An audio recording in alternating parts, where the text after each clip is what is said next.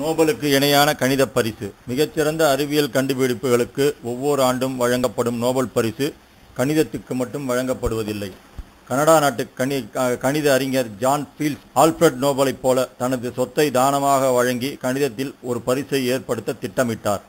அதன்படி நாற்பது வயதுக்குள் மிகச்சிறந்த கணித பங்களிப்பை வழங்கியவர்களுக்கு ஃபீல்ட்ஸ் பெயரில் ஒரு கணித பரிசு ஆயிரத்தி தொள்ளாயிரத்தி முப்பத்தி ஆறாம் ஆண்டிலிருந்து தொடர்ந்து வழங்கப்பட்டு வருகிறது. கணிதத்துக்கு என தனியாக நோபல் பரிசு இல்லை என்றாலும் அதற்கு இணையான பரிசாக கருதப்படுகிறது. ஃபீல்ட்ஸ் பதக்கம். நான்கு ஆண்டுகளுக்கு ஒருமுறை நடைபெறும் சர்வதேச கணித மாநாட்டின் தொடக்க விழாவில் அளிக்கப்படும் இந்த பரிசை பெறுவதே ஒவ்வொரு இளம் கணிதவியலாளரின் நோக்கமாகும். சர்வதேச கணித மாநாடு பிரேசிலின் ரியோ டி ஜெனிரோ நகரில் ஆகஸ்ட் ஒன்றாம் தேதி அன்று தொடங்கிய சர்வதேச கணித மாநாடு ஒன்பதாம் தேதி வரை நடந்து கொண்டிருக்கிறது. கடந்த வாரம் நடைபெற்ற இதன் தொடக்க விழாவில் Akshay Venkatesh Peter Scholze Caucher Birkar Alessio Figalli ஆகிய நான்கு இளம் கணிதவியலாளர்களுக்கு ஃபீல்ட்ஸ் பதக்கம் வழங்கப்பட்டது. இந்திய கணித நாயகன் பகுப்பாய்வு எண்ணியல் ஒரே படித்தான இயக்கவியல் இயல்பு மாறா வடிவியல் உருவமைப்பியல் போன்ற கணித உட்பிரிவுகளில் அளப்பரிய சாதனையை படைத்ததற்காக அக்ஷய் வெங்கடேஷுக்கு ஃபீல்ட்ஸ் பதக்கம் இந்த ஆண்டு வழங்கப்பட்டுள்ளது. இவர் டெல்லியில் பிறந்து இளம் வயதில் ஆஸ்திரேலியாவில் குடியேறியவர். தனது ஆய்வை அமெரிக்காவில் நிகழ்த்திய அக்ஷய் வெங்கடேஷின்